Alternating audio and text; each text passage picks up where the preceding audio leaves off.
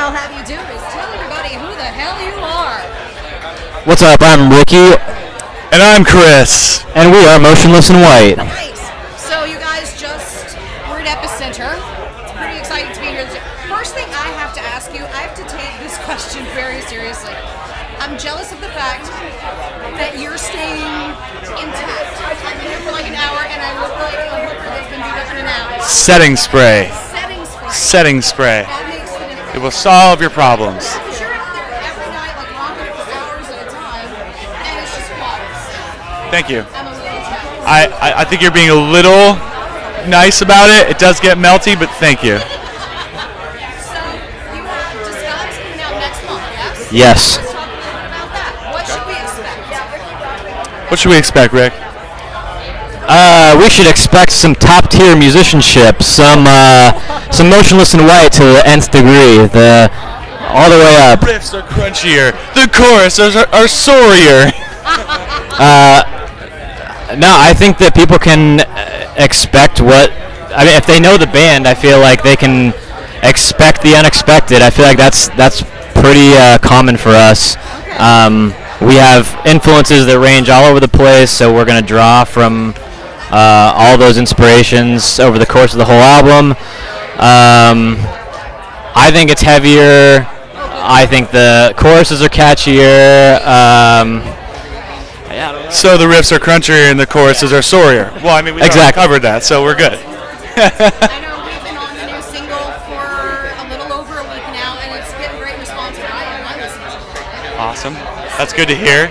We we're. s- I'll, I'll take. the- I feel weird. You, you're just holding this for me. Uh, we were kind of worried if the, if the song would go over well uh, by our fans and anyone kind of new to the band, and it, it turns out that everyone seems to be supporting it equally. So it's really awesome to see that. Yeah. I'm, I love being proved wrong by our fans. It's great. Keep proving us wrong. Now's the fun part. I know you guys get asked the same questions 172 times every time you sit down in one of these stupid tents. I want you to interview each other. Ask the one question that you wish you would be asked, and then vice versa. This is really this is tough. What's the one thing I've always wanted to ask you? Wow.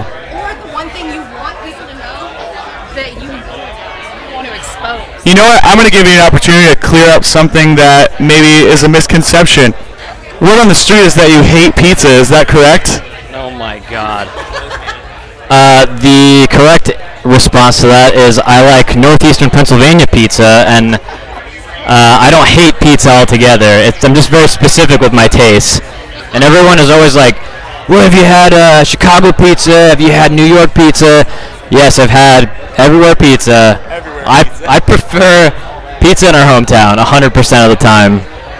I will give him that. The, the pizza in, in Scranton, Pennsylvania area is far better than everywhere else in the world. And I even have had Chicago pizza, which I thought was great, but our area is great.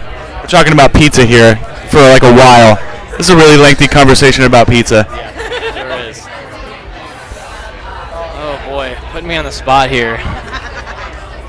Um, If it helps, oh, Godsmack just said, so what pets do you have? So, I mean, as long as you can beat the what pets do you have question, you're better than Godsmack.